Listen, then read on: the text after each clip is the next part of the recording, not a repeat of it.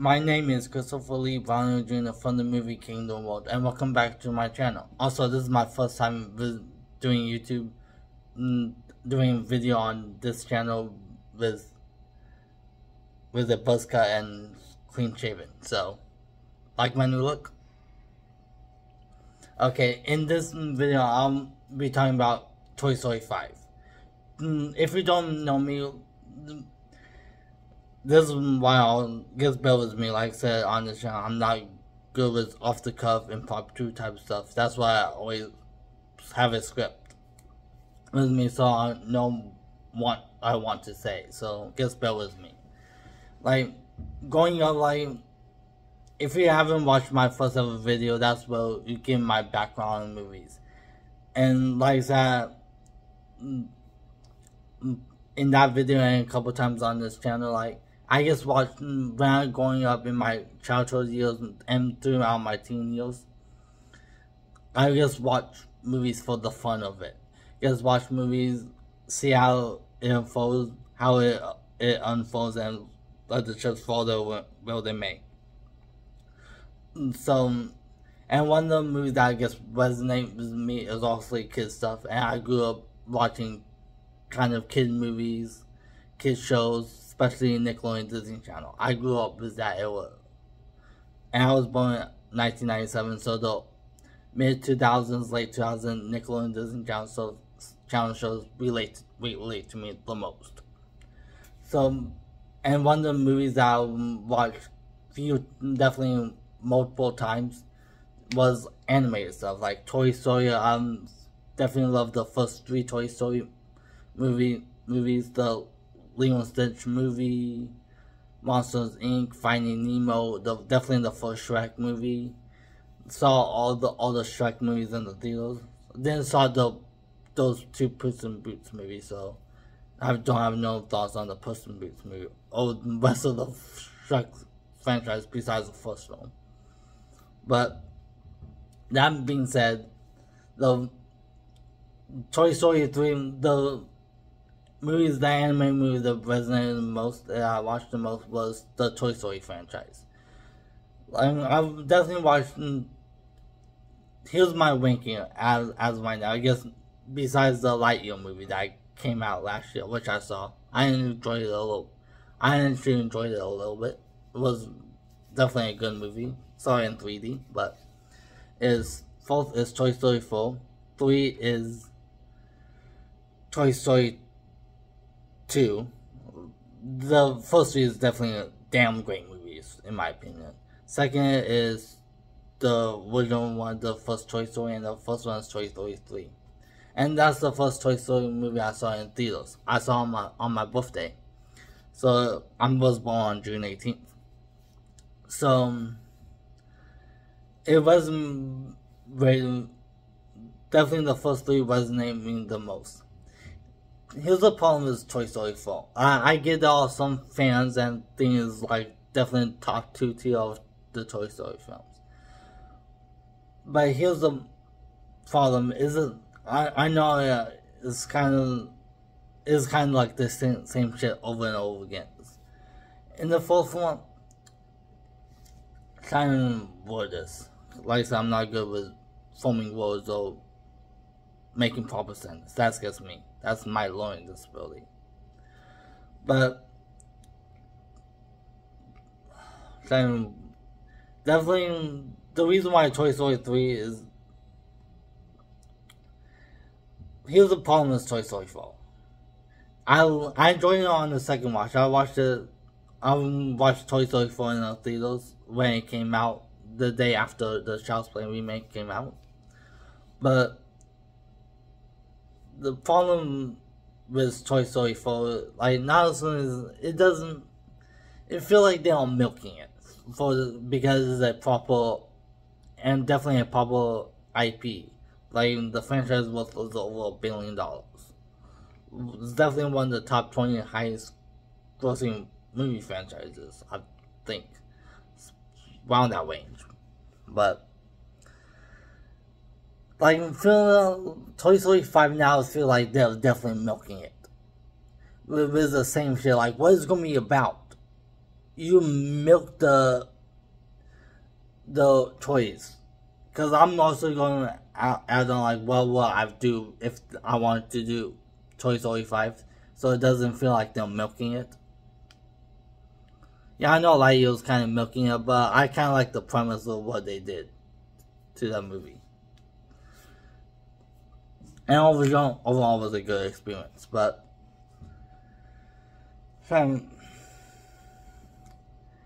like I know like I'm a big Halloween fan, some a big Halloween franchise movie fan. Cause like majority of the movies are the same stuff over and over again. Like probably with different brutalities and different setups and all that, but the same stuff.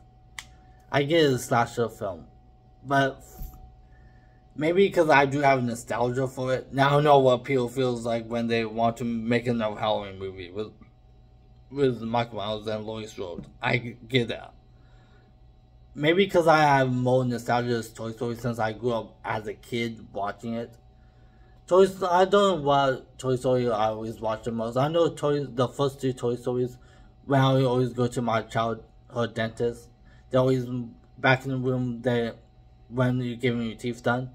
There says back in up like on the ceiling was movies or Disney Channel that was playing. And if it's like usually a movie, it was always like Toy Story, the first two Toy Stories, or Lilo Stitch or Finding Nemo. Those is was Disney stuff.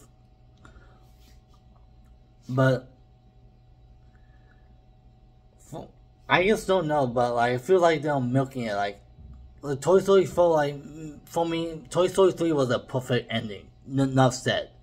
I on I know people saying, "Oh, the first, mm, the third one is the ending is, is concludes the Andy and the kids conclusion arc story arc, but in the fourth one is mm, in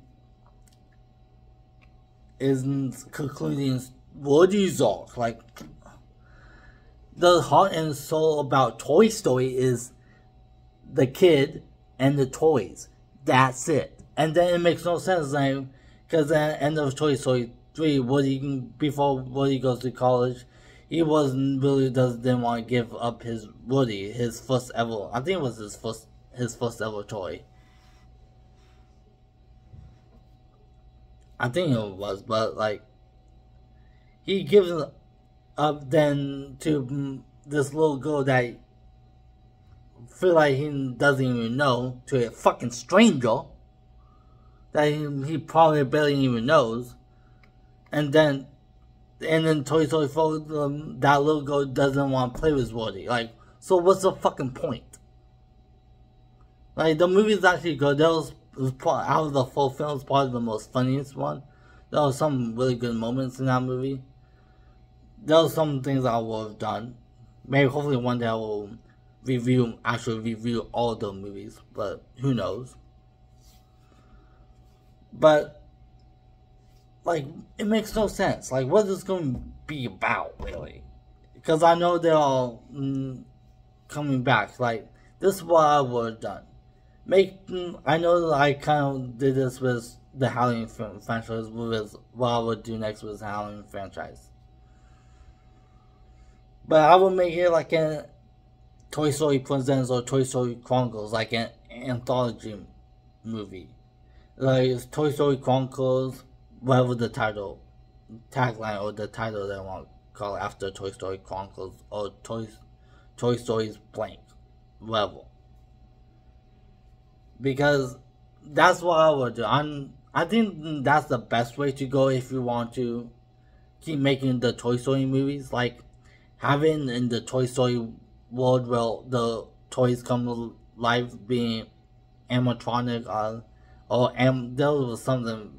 I forgot what it's called, but I don't know animatronics because oh whatever that word is. But I will make some Toy Story will have a new group of toys, maybe borrow toys from Hasbro, and then create up some new type of toys, and have maybe. I know it's gonna have a, be a little tacked on and kind of the same stuff over and again with different kid, but make it like modern, like make it like modern, like maybe an AI toys, something like that. Make it like a little bit modern for the modern generation uh, and audience, something like that. But like having like the Toy Story gang back again, like what's it gonna be about? It's, it's more milking it than than my stuff, as I said. But maybe it's nostalgia purposes, like maybe because like Toy Story. I maybe I have more fond and most nostalgia with kid stuff. That stuff I grew up like as a kid, not a teen. Like the whole stuff I got into as a teen, but as a kid was kids stuff like Toy Story, Shrek, Lilo Stitch, stuff from that from Disney Channel, Nickelodeon, all that stuff. I grew up as that. That's my, that's like my stuff. That I was passionate about when I was a kid. Not horror, not movies, these cult classic movies, some of them are cult classics like the Toy Story franchise, but like I'm I just can't explain it. Like I said, I'm not good at words. That's why I always script my shit, so I, I always know like what I want to say and how to say it. But like, yes, I probably will go go see it. But like, it feels like,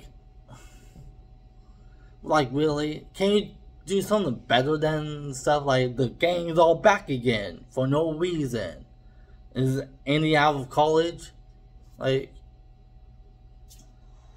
I just don't know. Like,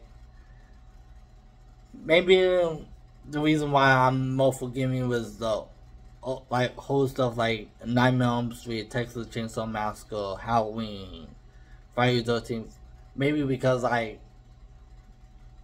I didn't actually grew up as a kid watching them religiously as stuff that I mentioned in this video. But that's how I feel. Like if you feel differently, comment down below. Like, like is Toy Story feel a bad film? No. I am as right now, I'll probably give it the definitely the fourth film only on digital, but not on physical media because I feel like that's the probably the best way to conclude conclude the Toy Story 4. Um, and it's kind of hinted at like uh, I can't say where it's going. And for me, it feels like it's unnecessary in my opinion it feels unnecessary. It's like doesn't conclude Toy Woody's arc in my opinion. Doesn't for me. I I that's for me that's not the heart and soul of the Toy Story franchise. For me, it's not. The the heart and soul for the Toy Story franchise is is for me a kid with his toys and that's it. I know, like, I think it was Bonnie the little girl who got introduced in Toy Story 3 and was the character of the, of the toys in Toy Story 4, but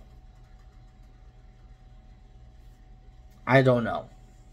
Maybe because I'm more nostalgia to stuff that I watched as a kid than stuff I watched as a teen. I'm more forgiving probably on that stuff. But that's how I feel. So comment down below how you feel. So that will be it for today's video. Remember to comment down below, share this video, hit the thumbs up button, sus subscribe, turn on the notification bell button, and follow my Facebook group at Movie Fandom Kingdom Land. And that will be it for today's video. And remember, good vibes only.